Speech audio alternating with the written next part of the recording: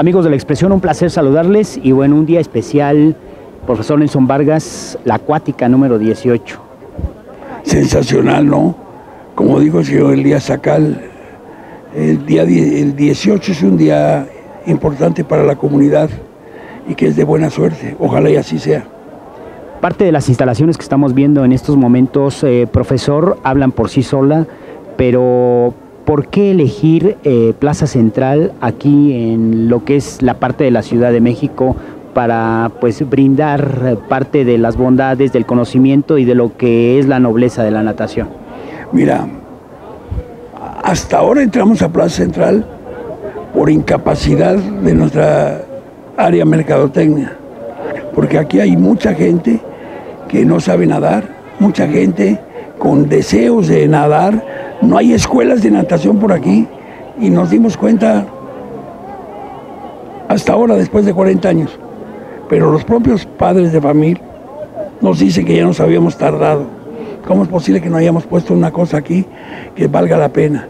Y bueno, hasta ahora nos dimos cuenta que es una zona extraordinaria, la gente es muy trabajadora de Plaza Central, de Plaza Central de Abastos y mucha gente viene a las 11 de la mañana porque termina su trabajo después de mm, trabajar en la madrugada y se vienen y se relajan aprendiendo a nadar.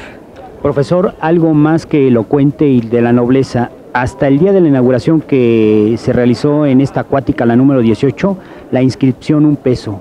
¿Qué le puede decir a la gente que nos está viendo en este momento para que venga, que Yo les garantizo un método de enseñanza que está probado hace 40 años.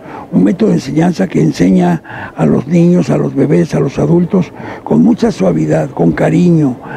Aprenden a nadar jugando. No hay ninguna situación de, de exigirles más que lo que cada quien pueda dar. Entonces, yo invito a toda la comunidad de la Plaza Central y, lo que es el Central de Abastos, las colonias aledañas aquí, a que vengan a esta su casa.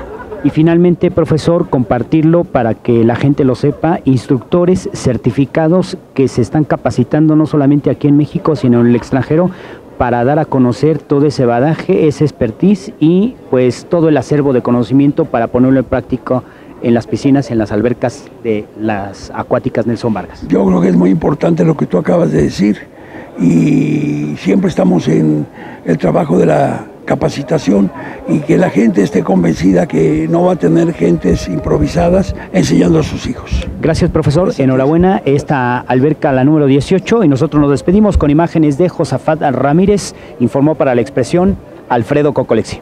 Gracias.